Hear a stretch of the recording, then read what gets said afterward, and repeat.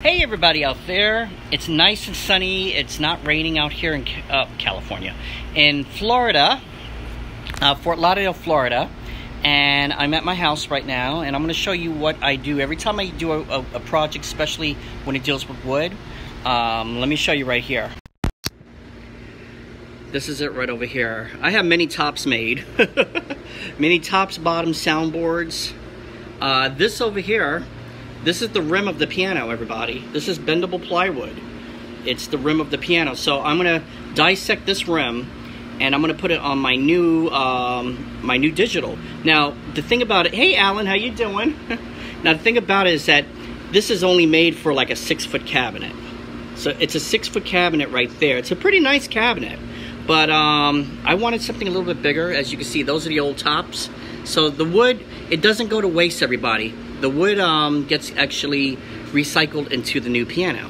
Whatever I need, whatever parts I need, um, this is the frame of from that right there. And this over here, this was a side cheeks. Now, I originally made it a 61 key, then I made it a 76 key, and now I'm making it a full 88. So right over here, this is two pieces actually. This is the top and the bottom. So um, the bottom one is actually on top and the the top of the piano is on the bottom. What I mean by that is that the top of the piano, that's going to be the lid.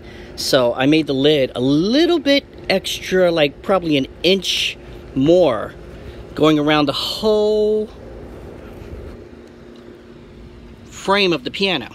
Now, as you can see, it splits off into uh, pieces right here. So there's two pieces right there, which I have to glue. Uh, so that's gonna be the next process. I have to glue um, those together and then I have to shape them. After, after I glue them, then I have to actually shape it and I have to sand the rim down, make sure it looks 10 times better than what it does. Make sure it kind of almost looks factory. But um, yeah, that's it right there. These over here, these are the cheeks of the piano.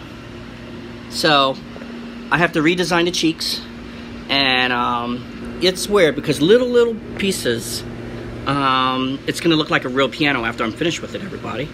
So just wanted to show you this is this is gonna be a really cool project.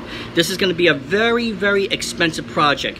Now if you can see how I'm putting that rim together this is actually a flip side because what happened is that all these little parts right here I gotta take apart again.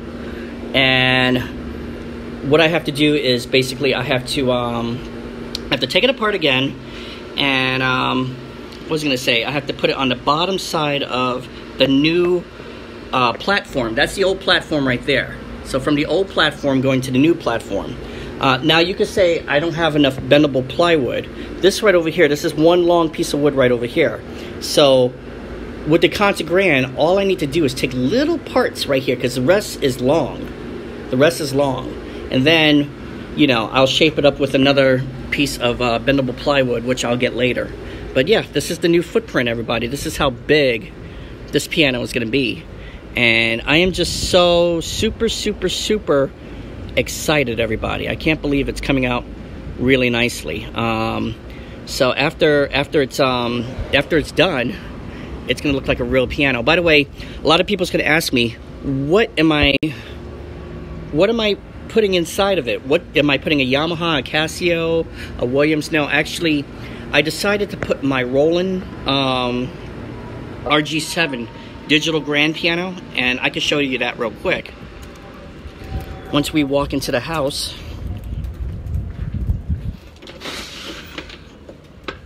and the lighting is kind of a little bit bad here, but let me see if I could put this up right there. There we go the Roland RG7 digital piano is this digital grand piano right here.